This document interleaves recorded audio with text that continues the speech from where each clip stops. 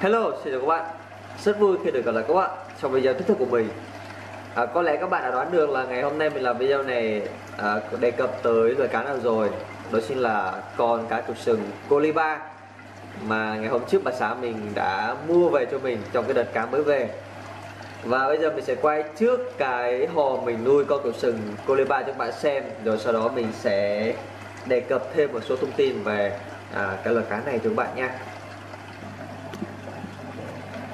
thì đây là con cá của chúng ta các bạn. Là một con cá cầu sừng coliba. À, với kích thước của nó rơi vào tầm từ 10 à, gần 10 cm các bạn có thể thấy. Đó. Đó. Thì nếu chúng ta có thể quan sát thì chúng ta có thể thấy là cái ngoại hình của con cá cầu sừng coliba nó khá là giống với à, kết cấu của con cá cầu sừng hoàng đế. Tuy nhiên nó khác nhau ở đặc điểm là hoa văn của con cá cầu sừng hoàng đế các bạn. Thì ờ, với cái họa tiết trên người của nó thì màu nó sẽ sáng hơn con cá cầu sừng hoàng đế rất là nhiều. Và nó có một cái sọc đen. Đây, mình phóng to các bạn xem. Nó có một cái sọc đen chạy từ cái phần mang xuống tới phần đuôi. Và cơ thể mang cái phần xám phía trên lưng và phần trắng xuống phần bụng. Đó, các bạn có thể thấy. Và một cái sọc giữa ở giữa ngăn chia à, về bộ vây về cái phần miệng phần mắt và phần đuôi thì chúng ta có thể tưởng tượng nó khá là giống với uh, dòng cá của sông hoàng đế. Đây. Đó. Thì mình đang nuôi con cá này trong cái hồ của phong đen nha các bạn. Thì uh, khi chúng ta nuôi những con cá củ sừng thì chúng ta nuôi hồ phong đen hoặc là hồ phong sinh dương thì nó sẽ lên hoa văn đẹp hơn và đậm hơn so với những cái hồ màu trắng nha các bạn. Đó thì đây là cái hồ mà mình uh, dùng để uh, nuôi con cá cựu sừng coliba của mình. Uh, một cái hồ kích thước uh, dài 80 cm uh, ngang 40 và cao 50 thì hiện tại mình đang để mực nước của nó chỉ có cao tầm một găng tay của mình là rơi vào tầm 20 cm thôi các bạn. Đây một găng tay. Và cái bên mình có ngăn mình dưỡng những con cá sấu bông size 10 tới 12 cm và bên này mình dành cho nuôi con củ sừng coliba của mình à, thì thường chúng ta sẽ nuôi những cái hồ có phông đen thì sẽ giúp con cá chúng ta lên hoa văn đậm hơn và nhìn sẽ đẹp hơn với những cái hồ phông trắng à, phông đen và phông xanh dương các bạn. Thì sẽ giúp mà màu sắc của cá nổi bật lên màu đẹp. À, máy bơm mình sử dụng máy bơm 305S thì các bạn có thể thấy là hồ mình hơi dơ. À, thì mình sẽ bỏ vào kính chùi sau thì mình bắt ra các bạn. Đó. À, thì mình vừa có quay cái hồ cũng như là cái ngoại hình của con cừu sừng Coliba cho các bạn tham khảo. Thì nhìn chung thì với cái kết cấu ngoại hình của nó thì các bạn tưởng tượng là nó khá là giống với à, con cá cừu sừng hoàng đế. Thì các bạn có thể phân biệt là cái loại cừu sừng xám với ờ, uh, cừu sừng albino thì nó có những cái kết cấu miệng khá giống nhau. Miệng nhỏ uh, thân dài và thích ăn cắn chìm còn cái con cừu sừng coliba và con cừu sừng hoàng đế nó có cái cấu miệng nó rất là rộng cơ hàm bự à, những cái sừng những cái sừng trên lưng các bạn rất là rõ và rất là cao. À, thân hình thì lực lưỡng đô con nghĩa là chúng là những con cá săn mồi ăn thịt rất là hung hãn hơn so với củ sừng xám và albino thì theo mình được tìm hiểu thông tin thì à, con cừu sừng coliba này có à, xuất xứ từ nguồn gốc từ châu Phi các bạn. À, nó sống ở lưu vực sông Nin. Đó theo mình tìm hiểu thông tin là vậy. Và ngoài tự nhiên thì nó có thể đạt kích thước là lên tới 24 inch. À, thì quy đổi sang kích thước Việt Nam thì max size của nó thì đạt tới 60 cm gần 60 cm rồi các bạn chưa tới 60 cm đâu.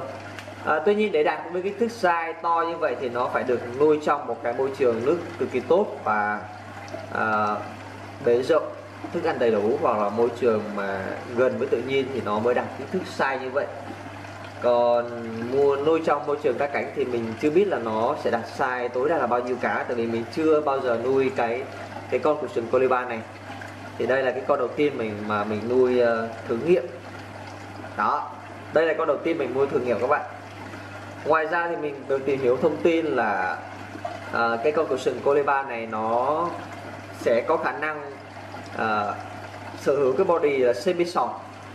À, theo mình đọc những cái ờ, cái bài viết về cái con cá cừu sừng Coliba này của những người nước ngoài từng nuôi qua thì người ta đoán là cái con cừu sừng Coliba này nó rất dễ có khả năng body semi short nếu chúng ta à, cho nó ăn nhiều ăn thức ăn nhiều ăn cá con nhiều thì nó sẽ rất là đạt cái body semi short thì rất là đẹp.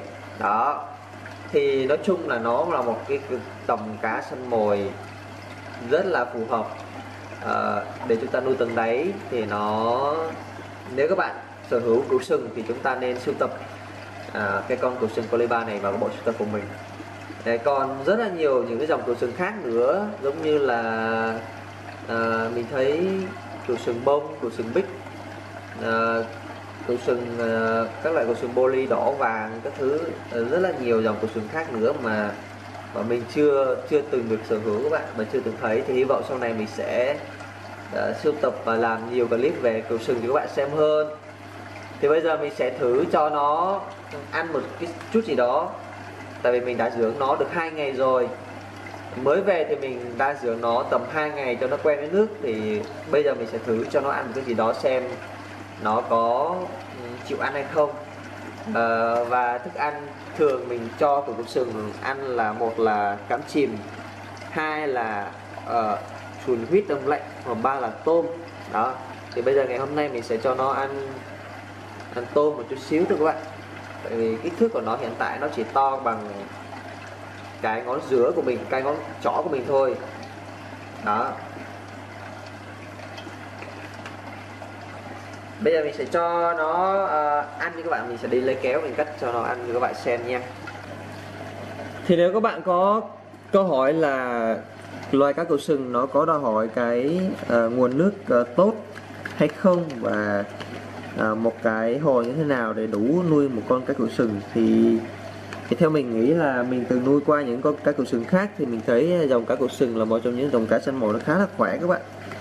Khá là khỏe và nó cũng không có uh, đòi hỏi cái nguồn nước quá là khắt khe. Thì chúng ta cần chuẩn bị cho nó một cái hồ có lọc tràn và và nhiều vật liệu lọc. Thì ờ, chúng ta có thể nuôi một con cá cừu sừng ok rồi các bạn. Thì vừa rồi mình vừa thả một cái miếng tôm khá là nhỏ xuống à, kế bên cái con cừu sừng coliba của mình. Và hy vọng là ngày hôm nay mình có thể quay được à, một chút clip gì đó về việc con gấp sừng coliba này ăn cho các bạn xem. Tại vì thường là những con cá mới về nó khá là khá là nhát người.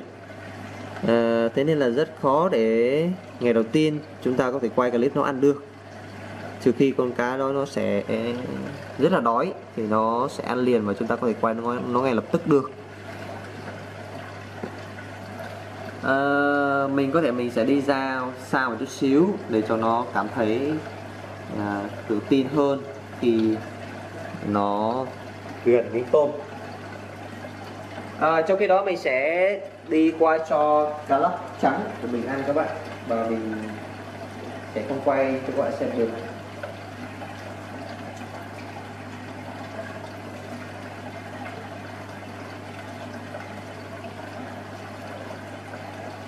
Các bạn có thể thấy là mình đang đứng ờ, khá là xa so với cái hồ và và mình đã quan sát được là con cầu sừng nó ăn rồi các bạn mình đang đứng uh, xa khỏi vị trí cái hồ cho con cầu sừng nó có thể uh, dạng người hơn và mình đã thấy nó ăn rồi.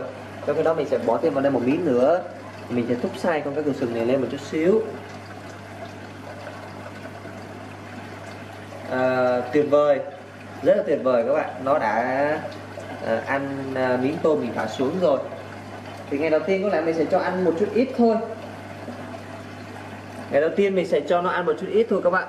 Để cho nó quen với cái thức ăn đã. Thì ờ, ngày hôm sau mình sẽ cho nó ăn nhiều hơn.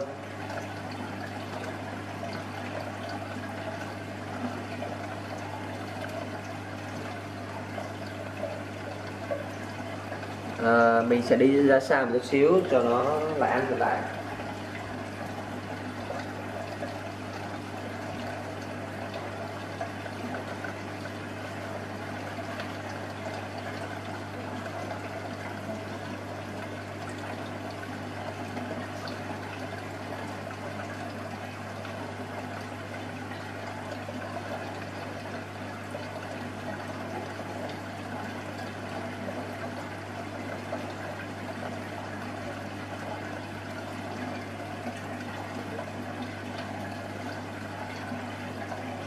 Ờ, có lẽ sau một hồi mình uh, mình đi và mình quay lại thì mình cảm giác là nó vẫn chưa có ăn cái miếng thứ hai các bạn. Nó vẫn chưa ăn cái miếng thứ hai.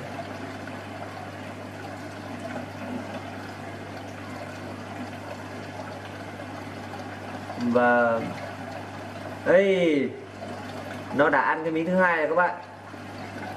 Các bạn có thể quan sát thấy cái miệng của nó khá là to cái cơ miệng của nó khá là to thế nên là nó rất là dễ dàng có thể uh,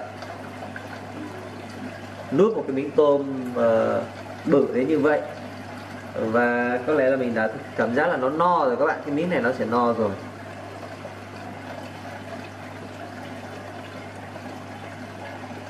Khá là cưng các bạn khá là cưng và khá là đẹp. Mình thấy cảm giác con cầu sừng Coleba này rất là đẹp thì giá của nó là hơi mắc các bạn.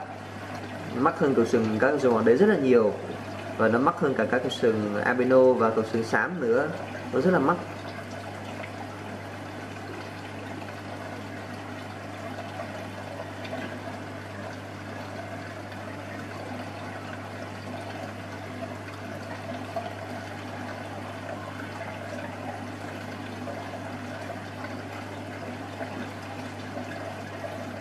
Các bạn có thể thấy là cái bộ ờ, vây trên lưng của nó à, căng và đẹp.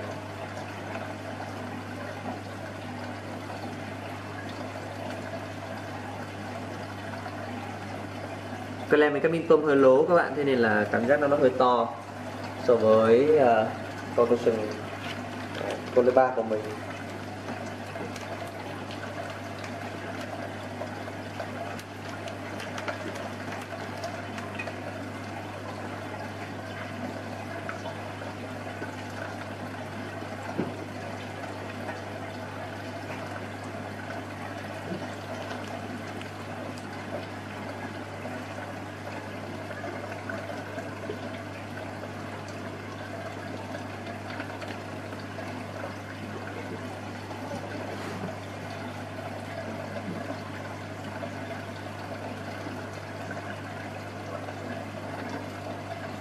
Nó đã hoàn thành cái việc uh, ăn uống của mình rồi các bạn. Và chúng ta có lẽ ngồi đợi thêm uh, một chút xíu nữa là chúng ta có thể uh, quan sát uh, con cá câu sừng mình ăn hoàn thành cái miếng tôm. Đó.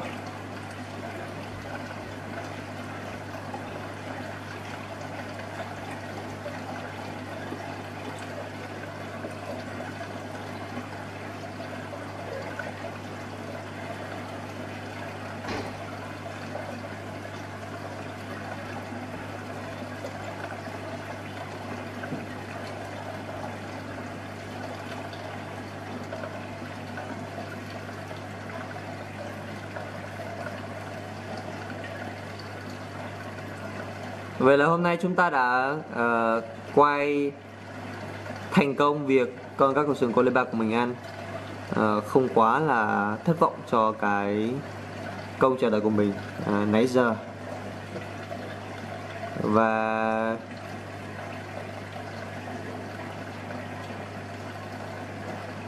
nó đang còn cố gắng xử lý cái miếng ăn của nó các bạn. Hơi vất vả một chút xíu.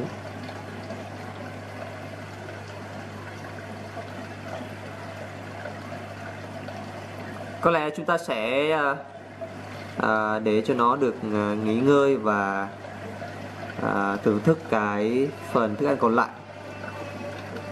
Rồi thì video hôm nay của mình tới lời kết thúc thì hẹn gặp lại các bạn vào à, những clip tiếp theo của mình. Ngày hôm sau mình sẽ cập nhật cái à, à, bệnh tình của ba con cá hồi Indo của mình cho các bạn xem và mình sẽ cho tụi nó ăn à, và đề cập tới cái bệnh của nó đã có đỡ hơn trước hay chưa hẹn gặp lại các bạn vào những clip tiếp theo. Đừng quên nhé vào đăng ký kênh cũng như like video của mình để có thể cập nhật những clip ờ, mới nhất. Xin chào và hẹn gặp lại!